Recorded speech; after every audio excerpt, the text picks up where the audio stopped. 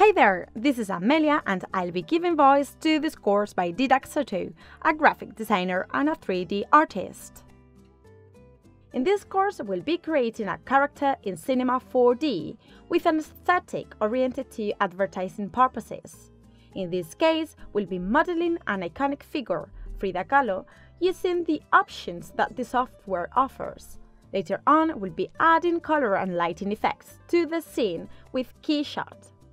We are going to model our character with a very concrete aesthetic. However, thanks to the different modeling methods, we'll be able to introduce some changes if we want to. Thus, if you are interested in learning a different way of creating characters and want to work with colors, using cool techniques different to the pen tool or the traditional format, this course is for you. So, shall we start?